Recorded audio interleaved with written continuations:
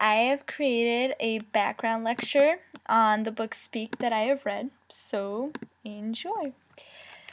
Okay, so I'm going to be presenting a background lecture on the book Speak, which is going to involve facts like a biography on the author and coming up with the idea of the novel and what inspired the book to be what it is. So, first, I'm going to be talking about the author herself, and her name is Laurie Halse Anderson, and she is indeed the one who wrote the book Speak. So basically, there are just some pictures of the author and previous books that she has written in the past, like Prom and Fever 1793. Here are some facts about Laurie Halse Anderson. For one, she was born on October 23, 1961, in Potsdam, New York, along with her younger sister Lisa. She is indeed an American author who enjoys writing young adult fiction, historical fiction, and picture books for young readers. Writing was always her thing, but only when it came to writing made up stories. The novel Speak, which is the book that I read, was really what gave her the popularity and attention that she deserved for her writing. As you can probably tell, she wants to be the voice for children, teens, and young adults who read her novels and get an idea for where she is coming from. Anderson has had two marriages in her life. From what you can see, while in the process of writing Speak, she was married to Greg Anderson, who was her first husband but unfortunately didn't last.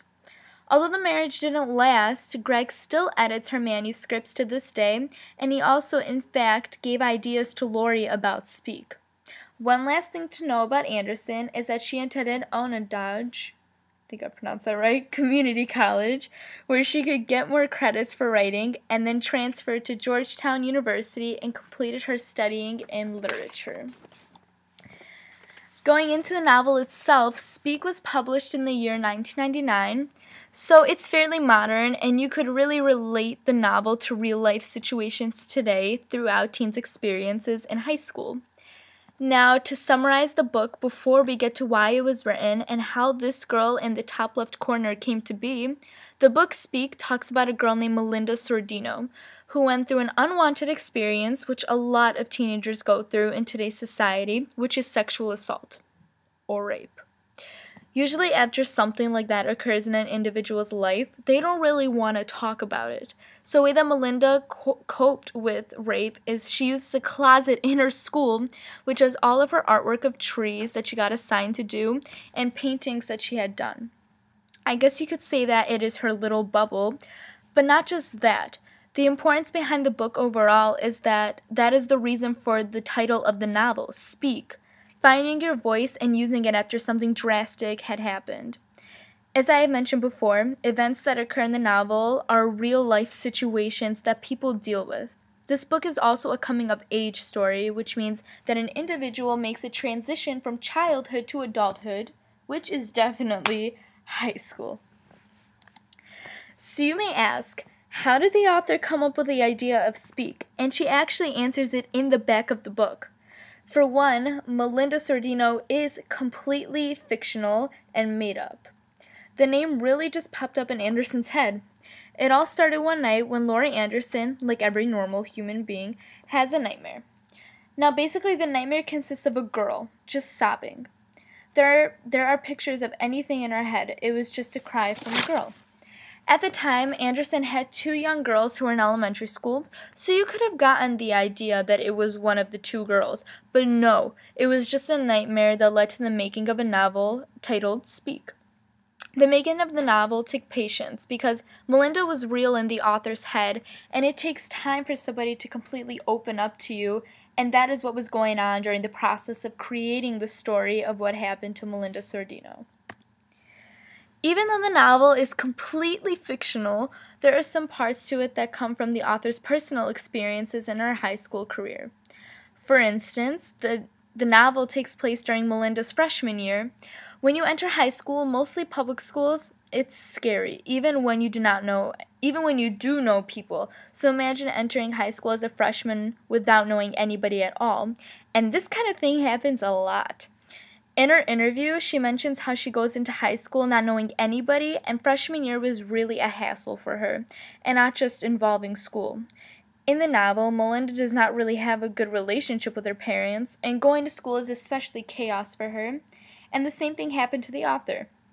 Anderson really brings out her teenage self in the novel and puts it into Melinda's perspective.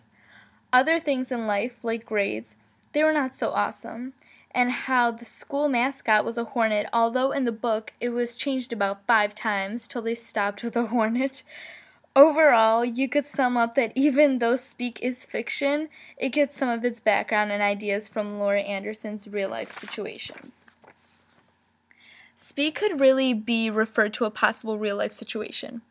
When you read Speak, you really have to be educated in the topic of assault and how teens as well as adults are afraid to speak up, which is why there are campaigns not just for victims of sexual assault, but for victims of bullying, like, for instance, the No Hate campaign, which represents people who think differently and view the world from a different perspective than other people and get taunted for things like that, leading to being unable to speak up because they are afraid of their voices and they will be brought down and make things worse.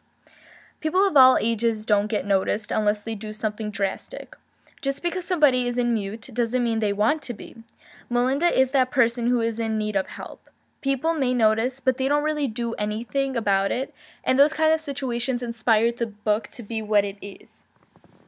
To get some ideas to plug into the novel, Laurie Anderson spoke to the victims of sexual assault, not only female but male as well.